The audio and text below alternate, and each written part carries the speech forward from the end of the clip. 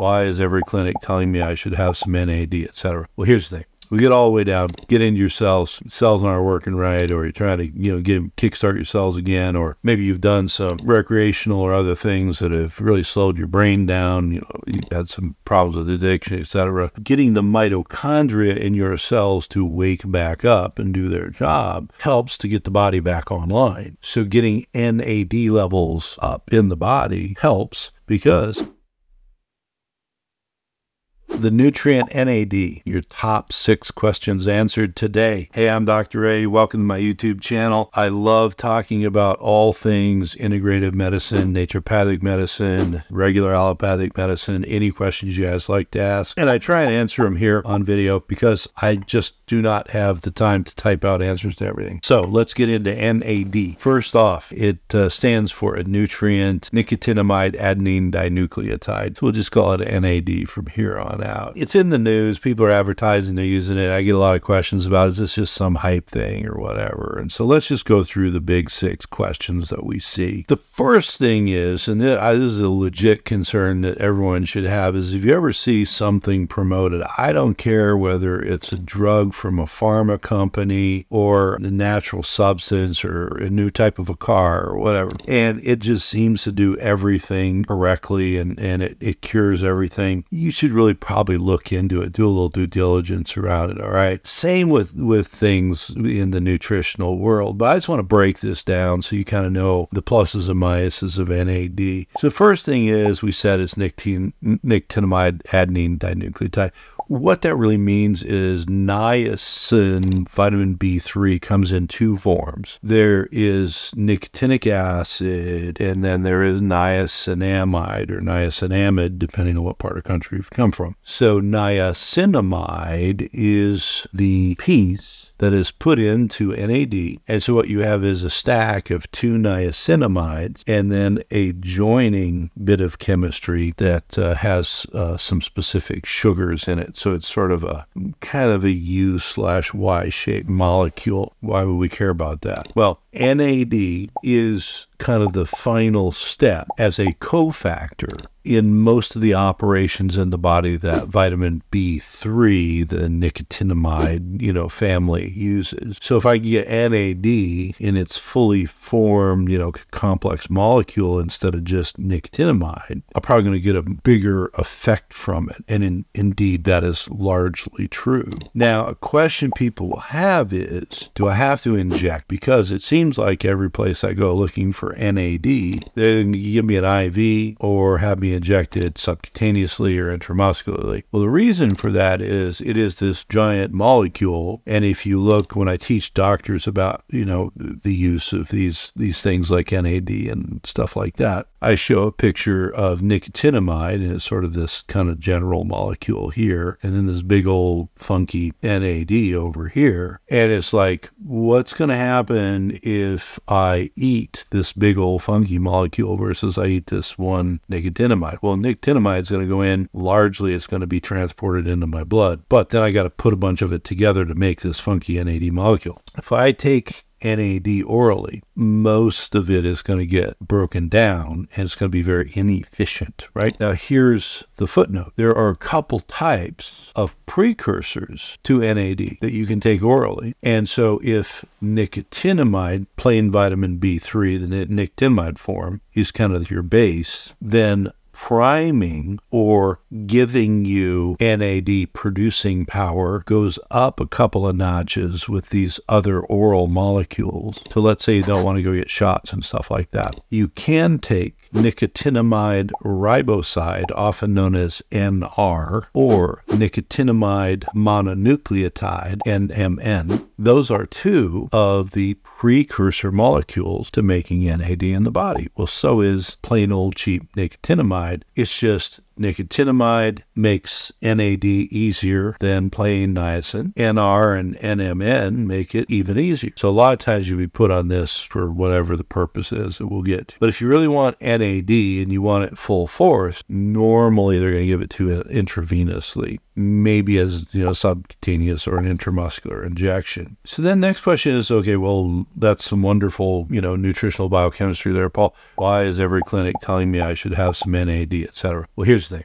We get all the way down, get into your cells, cells aren't working right, or you're trying to, you know, get kickstart your cells again, or maybe you've done some recreational or other things that have really slowed your brain down. You know, you've had some problems with addiction, etc. Getting the mitochondria in your cells to wake back up and do their job helps to get the body back online. So getting NAD levels up in the body helps because it turns out that the major way that the mitochondria, which give you all this energy and make your cells operate, the major way that they get their sort of electrical current to move energy and make ATP so that you have energy for yourself is through the breakdown of the family of NAD. It's not just NAD, but it's the family of NAD. So if somebody goes and they put some NAD into an IV bag and then they put an IV in your arm and the NAD goes in, you're going to usually feel that you don't feel energy, etc. Well, that's because your mitochondria are waking up, right? This is a good thing. So, what if I do it the oral way? Well, if you take NR or NMN, or even long term taking niacinamide, but remember it's quite a lot slower, you're going to sometimes feel the same thing. And I've experimented with all different types of this, and I can definitely tell you if I inject it, you feel it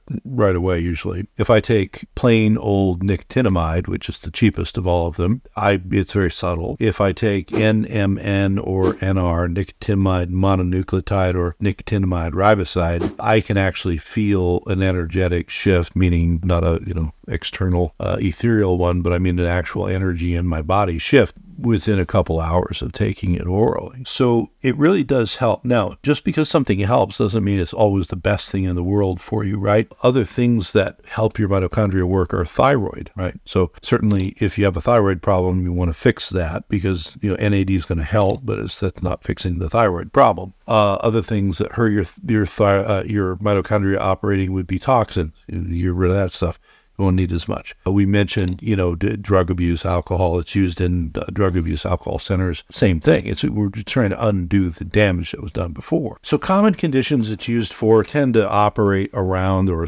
or circulate around mitochondrial slowness. So recovery, people with long COVID are using it. Seems to work pretty good there. People with chronic fatigue use it. Fibromyalgia. Uh, people with po- other post-viral syndromes. People recovering from surgeries. Any recovery sort of thing.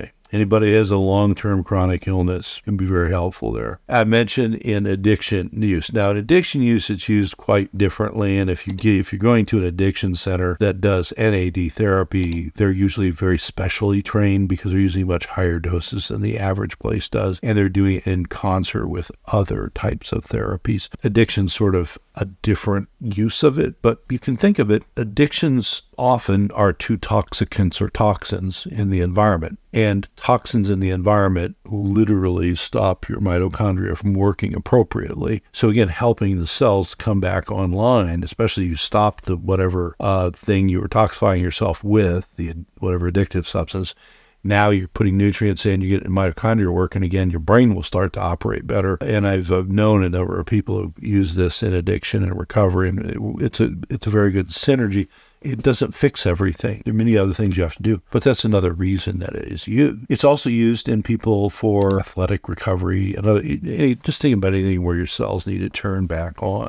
Now, there's always one little footnote, and this really deserves its own video, and I will probably make my own video on it. But that is, should I avoid it if I have cancer? Now, normally, and if you look behind me in the fuzziness, there's some books I've written about cancer, and some of them deal with this topic. Normally, nutrients are not that much of a danger in cancer unless you're doing you know, super high amounts, in which case you should be working with someone who does that, right? The concern, now it's a theoretical concern, and there are papers on both sides of this, the ledger here. But the concern is if you use it periodically, like let's say you recover from cancer and you also went to a drug treatment center and they use NAD, right? You're not going to be at the drug treatment center forever and ever, right? So short time to get a job done physiologically or pathologically, it's fine. Okay, so I'm going to turn your cancer back on. Kind of the same as if I have a long COVID patient and they're somewhere in their cancer journey or they or they're in remission or whatever, and I'm using NM uh, nicotinamide mononucleotide or NR nicotinamide riboside or injectable, I'll do it for a particular outcome to get their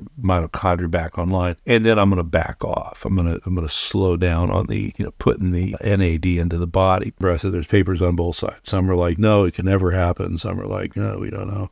Some of the best written biochemistry I have ever tried to understand and read, which means it took me a number of readings to go through in papers around cancer is your body, remember, NAD is in the middle of a family of molecules. Your body uses that family of molecules for mitochondrial function, which is great, but also for a ton of other stuff. And if you don't have a really good, robustly healthy body, and there's cancer that might, you know, need a little nudge in one direction, and you put a whole bunch of NAD into the person, theoretically, according to some pretty smart biochemists, you could metabolize that NAD in a way that might do that. So it's, as I say, as a therapeutic use, again, only do what your doctor tells you. I'm just talking, just telling you my experience. But if, if I see a patient and they have a therapeutic goal to get this out of NAD therapy, whether it's oral through NR, NMN, or IV through, you know, IV NAD, we're going to do that goal. We're going to do that treatment protocol. If it's a longer term thing, like long COVID, something like that, I'm going to start, to give it to them every day. And then if we get past a couple of months, I'm probably going to give it to them five days a week. And if we're out six months later and they're still needing it, which in some long COVID patients is true, you know, I might be like four days on and three days off, just so it's a nutritional uh, buildup in the body, but I'm not putting more in every single day. So as far as danger goes,